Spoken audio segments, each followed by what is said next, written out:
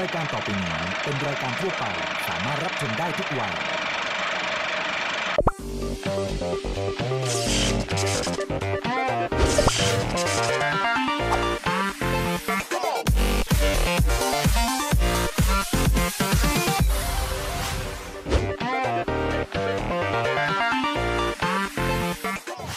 สนับสนุนโดยน้ำจิ้มหมูกระทะ และน้ำปลาร้าปรุงรสปลาโลโบ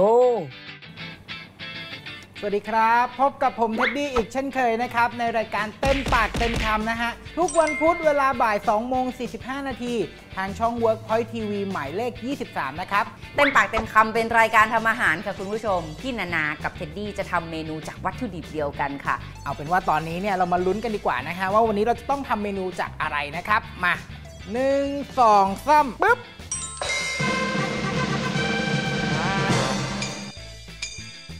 โอ้ยปลาหมึกกล้วยตัวเบลเลอร์เลย เอามาทำยำเอามาทำลาบก็อร่อย จะเอาไปผัดคั่วพริกเกลือก็อร่อยแต่ว่าน่าจะต้องมีคนทำแล้วแน่ๆเลยค่ะ วันนี้ก็เลยชวนคุณผู้ชมมาทำเมนูไทยๆแต่ว่าไม่ยุ่งยากดีกว่าชวนคุณผู้ชมมาเอาปลาหมึกเนี่ยนะคะ มายัดไส้ข้าวเข้าไปข้างใน แล้วก็มาทำซอสกะปิกินคู่กับเมนูปลาหมึกยัดไส้กะปิกันดีกว่า ปลาหมึกนะครับ โอ้โห ตัวโตด้วย ไม่แน่ใจว่ามีไข่หรือเปล่า แต่ว่าโจทย์เป็นปลาหมึกแล้วกันนะฮะ ถ้าเห็นแบบนี้นะคุณผู้ชมตอนนี้เมนูฮิตมาก ๆ เลยก็คือปลาหมึกคั่วพริกเกลือครับ วันนี้เท็ดดี้จะมาแกะสูตรครับ แล้วก็มาทำพร้อม ๆ กันว่าจะอร่อยขนาดไหนนะครับ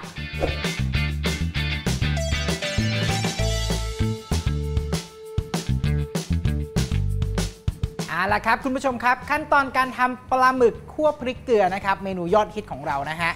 อันนี้ผมจะมาไขเลยว่าแบบ เอ้ยทำไมนะแบบปลาหมึกคั่วพริกเกลือร้านดังเนี่ยแป้งกรอบปลาหมึกแบบเนื้อเหนียวนุ่มกำลังดีแล้วแบบโอ้โหผัดหอมๆวันนี้แหละฮะคุณผู้ชม เราจะต้องคลุกแป้งประกอบอาหารเนี่ยแป้งแห้งหนึ่งทีแป้งเปียกหนึ่งทีแล้วค่อยทอดนะครับแล้วก็แบบทำปุ๊บผัดปั๊บเลย ต้องแบบนี้รวดเร็วมากๆอะขั้นตอนแรกนะครับ อันนี้โจทย์ของเราครับ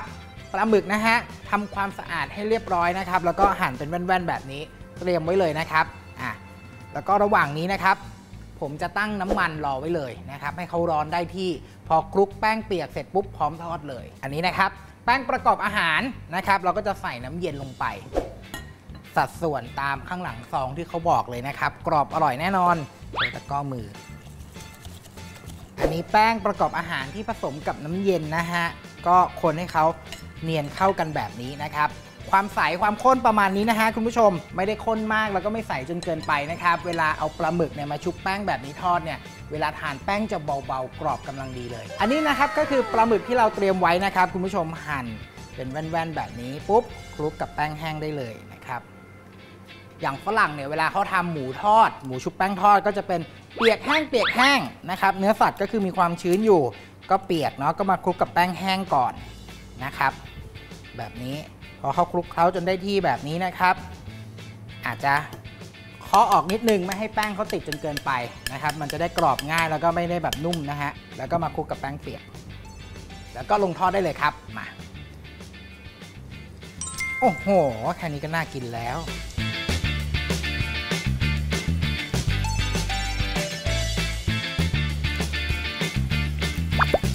เอาละครับคุณผู้ชมครับ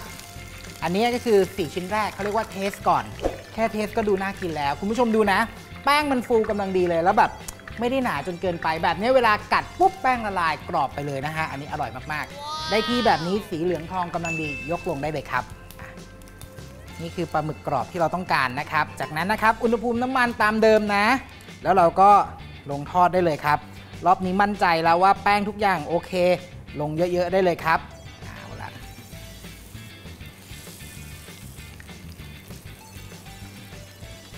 เรามาดูตัวที่สีเหลืองแล้วก็คอยพลิกคอยคนนิดหนึ่งนะครับ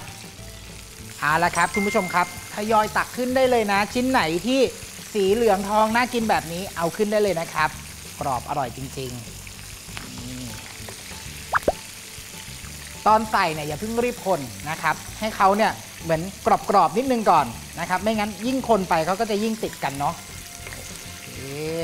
ปลาหมึกทอดกรอบของเราเรียบร้อยแล้วนะครับ อ่า เดี๋ยวเรายกพักไว้นะฮะ แล้วก็เดี๋ยวมาผัดพริกเกลือพร้อมๆกันครับเอาละครับ คุณผู้ชมครับ อันนี้ปลาหมึกทอดกรอบของเรานะครับ เรียบร้อยแล้ว เดี๋ยวเราจะมาคั่วพริกเกลือนะครับ ขั้นตอนแรกเลยนะครับ คุณผู้ชมอุ่นกระทะครับ นี่นำกระทะขึ้นตั้งไฟให้เขาร้อนๆเลยนะครับ กระทะร้อนแล้วค่อยใส่น้ำมันนะครับ เมนูปลาหมึกคั่วพริกเกลือนะครับ ต้องบอกว่าเครื่องประกอบเยอะนิดนึงนะฮะคุณผู้ชม แต่ว่าคุ้มค่าแน่นอน เราจะมีกระเทียมรากผักชีแล้วก็พริกนะครับ แต่ว่าพอผัดเข้าไปปุ๊บเนี่ยโอ้โหลงตัวจริง ๆ ครับ ขั้นตอนแรกนะครับ เราจะเอากระทะเนี่ยขึ้นตั้งไฟจนร้อนเลยนะฮะ จากนั้นใส่น้ำมันพืชลงไปครับน้ำมันร้อนๆนะครับ จะใส่กระเทียมสับละเอียดลงไปครับ นี่ กระเทียมเริ่มฟูนะครับ ผมก็จะใส่รากผักชีลงไปครับ อันนี้สับละเอียดเหมือนกันนะ ต้องรีบผัดละเอาละ เริ่มหอมแบบนี้นะฮะคุณผู้ชมพริกขี้หนูนะครับหั่นแบบนี้เลยนะฮะ ยิ่งเยอะยิ่งอร่อยครับ จังหวะนี้เราต้องผัดนิดนึงให้ตัวน้ำมันพริกเขาออกมา มันจะได้มีความหอมความเผ็ดนะฮะ โอ้โห แค่นี้ก็อร่อยแล้ว เอาละครับ จากนั้นนะครับสังเกตว่าเวลาเราทานคั่วพริกเกลือ มันจะมีพริกเยอะๆแบบนี้ อันนี้คือพริกชี้ฟ้าสีแดงนะครับ ไม่เผ็ดเลยนะครับ เผ็ดน้อยมากนะครับ แต่ว่าสีสันนะครับ อันนี้ก็พริกชี้ฟ้าเหลืองนะครับ ใส่ลงไปสับละเอียดแบบนี้เลยครับ จะมีความหอมความอร่อยนะครับ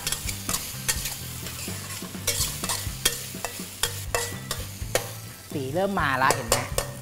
เราจะผัดให้แบบน้ำมันเขามีความหอมออกมา พอน้ำมันสีสวยแบบนี้นะฮะคุณผู้ชมเรารีบปรุงรสเลยนะครับ อันนี้จะเป็นซีอิ๊วขาวนะครับรีบใส่เลย มีซอสปรุงรสนะครับ จะได้หอมๆนะ แล้วก็ปรุงรสง่าย ๆ เลยครับ เกลือป่นเสริมไอโอดีนนะครับ น้ำตาลทรายนะครับเดี๋ยวมีผัดให้เข้ากันอตอนนี้หอมมาก ไฟแรงๆ ปลาหมึกทอดกรอบนะฮะ ใส่ลงไปเลย ค่อยๆ คลุกเคล้าให้เข้ากันนะครับ เขาก็จะมีความกรอบอยู่ ฮะโหน่ากินจริง ๆ จังหวะนี้แหละครับ เราผัดให้เข้ากันนะฮะคุณผู้ชมใช้เวลาไม่นานไฟแรงๆนะครับ ผมจะใส่กระเทียมเจียวลงไปด้วย อันเนี้ยจะอร่อยมากๆเลย เพราะว่ากระเทียมสดกับกระเทียมเจียวเนี่ยรสชาติคนละแบบกันนะครับ ผัดให้เข้ากันอีกนิดนึงโอเคเลยครับ ก่อนยกลงนะครับ คุณผู้ชมปิดไฟ อันนี้จะเป็นพริกไทยป่นนะครับหอมๆเนาะแล้วก็อันเนี้ยเพื่อความสดชื่นนะครับ เป็นต้นหอมสับละเอียดแบบนี้เลย นี่แหละครับ เรียบร้อยครับคุณผู้ชมปลาหมึกคั่วพริกเกลือครับ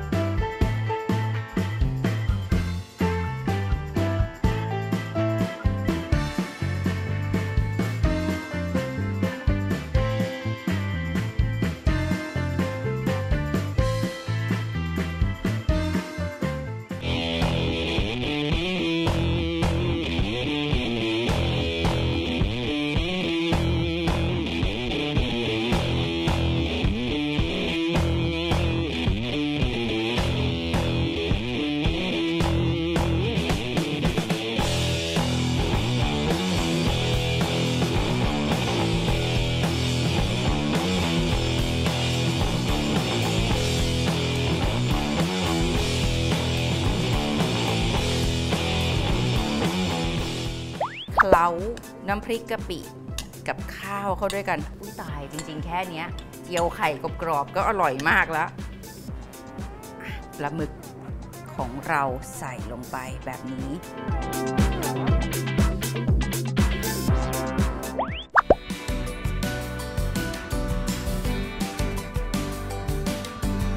วันนี้เรามีเมนูมันฝรั่งสอดไส้แฮมชีสมาฝากกันค่ะ โกกิเติมเมนูเดิมๆ ให้กลายเป็นความอร่อยใหม่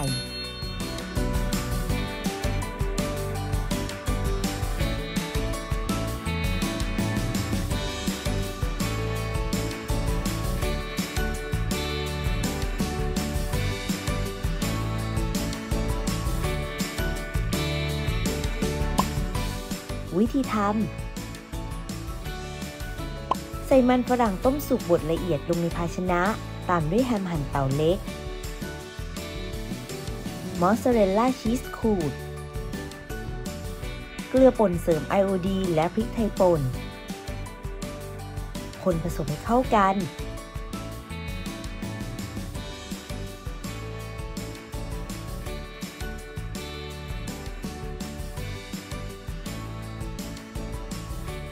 จากนั้นนำไปสอดไส้ตรงกลางมันฝรั่ง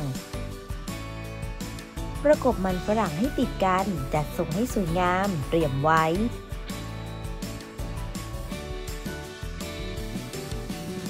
ใส่ไข่ไก่ลงในภาชนะ ตามด้วยน้ำ คนผสมให้เข้ากัน เตรียมไว้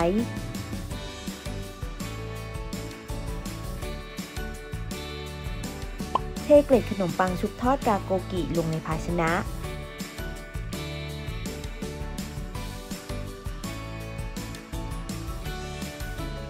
นำมันฝรั่งที่เตรียมไว้ลงชุบไข่ไก่ผสมน้ำนำขึ้นคลุกเกล็ดขนมปังชุบทอดราโกกิให้ทั่วทั้งชิ้น